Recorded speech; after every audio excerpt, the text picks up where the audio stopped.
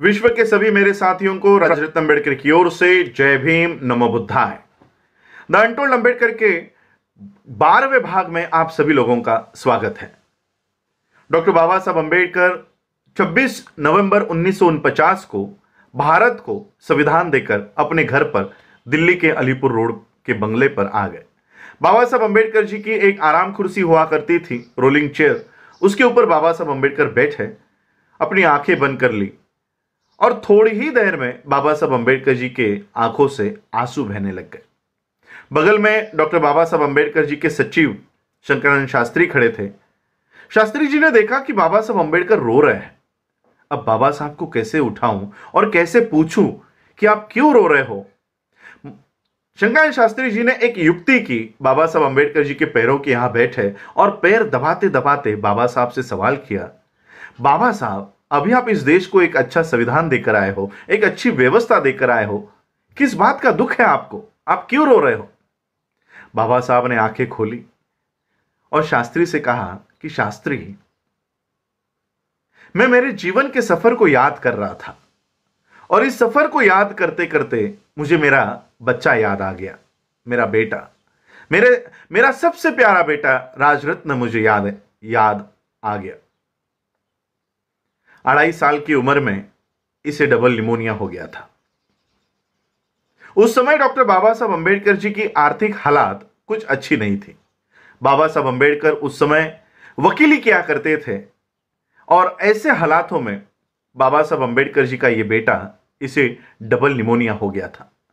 जुलाई 1926 में इसे double pneumonia हो गया था और बाबा साहब अंबेडकर हाईकोर्ट में, बॉम्बे हाईकोर्ट में एक केस के संदर्भ में गए थे।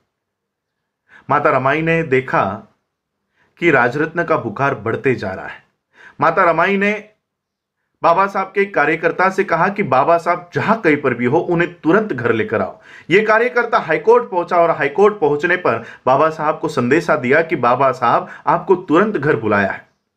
बाबा साहब अपना सारा काम छोड़कर, बाबा साहब को पता चला क्या हुआ होगा? बाबा साहब ने उसी हाईकोर्ट के दरवाजे से, उसी हाईकोर्ट के प्रांगण से तांगा किया और बाबा साहब जिस चाली में रहा करते थे, उस चाली के सामने आकर ये तांगा रुका।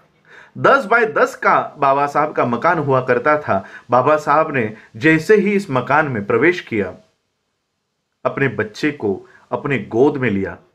गोद में बाबा साहब अंबेडकर इस राजरत्न को लेकर उसको खिला रहे थे।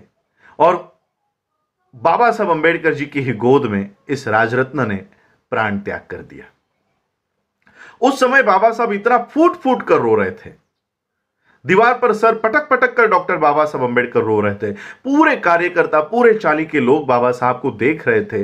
एक बच्चे की तरह बाबा साहब रो रहे थे। बाबा साहब को कैसे शांत किया जाए? बाबा साहब का बचपन का दोस्त मालू आगे आया। बाबा साहब को बहुत परिश्रम के बाद बाबा साहब को शांत किया।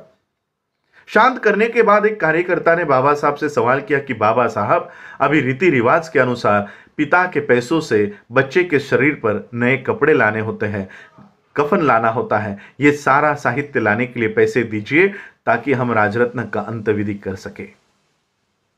बाबा साहब के कानों पर जैसे ही ये शब्द पड़े, शांत हुए बाबा साहब फिर से फूट फूट कर रोने लग गए। बगल में माता रमाई खड़ी थी। माता रमाई को पता चल गया कि इस रोने की वजह कुछ और है। माता रमाई को पता चला कि बाबा साहब अंबेडकर की जेब में नए कपड़े छोड़ो। कफन लाने तक के पैसे बाबा साहब के पास नहीं है। माता रमाई ने बदन पर की साड़ी फाड़ी और उस राजरत्न के शरीर पर कफन के तौर पर डाली। यह बात डॉक्टर बाबा साहब अंबेडकर जी को 26 नवंबर उन्नीस को भारत को संविधान देने के बाद याद आ गई। बाबा साहब शास्त्री से कहते कि, शास्त्री शास्त्री, एक समय था, शास्त्री, एक समय था कि मेरा बेटा, मेरा बच्चा राजरत्न इस इस जहाँ से जाते समय मैं उसके शरीर पर कफन तक डाल नहीं सका।